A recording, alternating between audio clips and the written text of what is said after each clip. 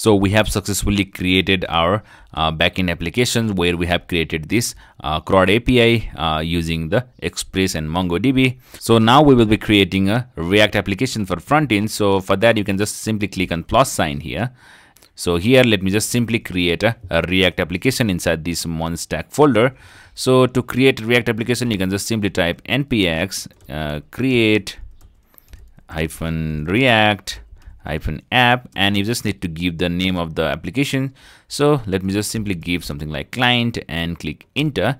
So this should create a, react application with the name client. One eternity later. So you can see the react application has been created. Uh, so let me just type cd and let me just go inside the client and just click enter. So to start the react application you can just simply type npm start. So this should start the react application so you can see so this has redirected us to this uh, browser and it is starting on localhost uh, 3000 so let's make some changes. So for that let me just uh, click here and click onto this client and just go inside the source. So you can see on app.js so you can see uh, on the header so the content is displaying from this header. So let me just simply uh, clear this header and you can just simply type something like this is react app and just save this so you can see. So the changes has been already displayed here. So here on the folder so folder structure so we didn't need some of the files. So you can just simply delete this app.test so you can just simply right click and delete. And we didn't need this logo.svg so let me just simply delete. You can just uh, press control and delete to delete that as well. So let me just delete this report wave and we don't need this as well. So you can just delete these files. And now if you just go into this index.js so you can see so we don't need this. And also uh, we don't need this as well. So let me just delete this as well. And similarly so if you just go into this app.js so we don't need this logo. So let me just remove this as well. And similarly so we didn't need this index.css as well. So let me just delete this one as well and also let's uh, remove this import index.css and on app.css so let me just clear the whole content. And let me just simply give body. And inside here let me just give the background color something like Alice blue. And let me just save so you can see the color has been changed. And this is showing this is react app. So once this is done so let me just install the packages required for uh, building our application so let me just go inside the package.json so let's install inside here. So for that again go into this npm.js and the first dependency we will be installing is uh, bootstrap so just type bootstrap and just go into this first one.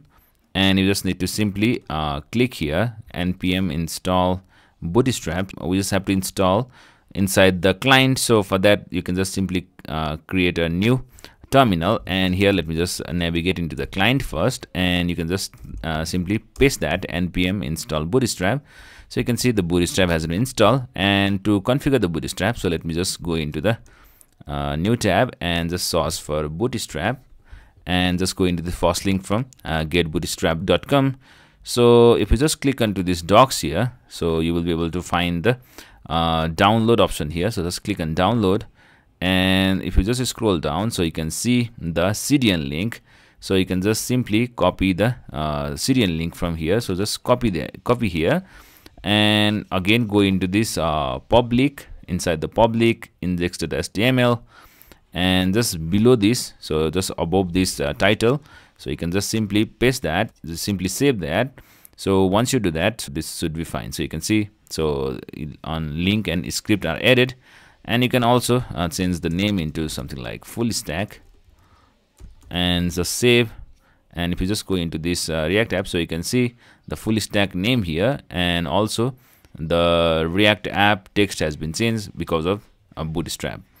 So once this is done so now let me just simply go into this source. So inside this source so let me just create a folder called get user. So you can just type get user so inside here so i will just create a file jsx file called user.jsx and similarly for uh, styling so we will create a file called user.css and in inside this uh, user.jsx so i will just create a, a, simple functional component by using the react snippet so for this react snippet so you just need to make sure to install this uh, es7 uh, react redux react native snippet. So once you install that so if you just type uh, on jsx file or, or any js file so if you just type rafce so this should create this functional component.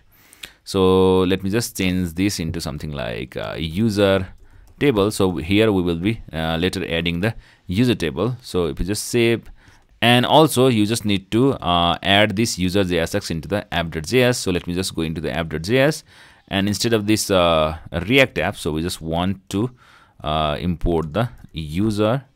So you can see the user so just click enter. So this has automatically imported user from the uh, get user slash user. So let me just close this one. And if I just save and go into the react application here so you can see the user table uh, which is being displayed from this user.jsx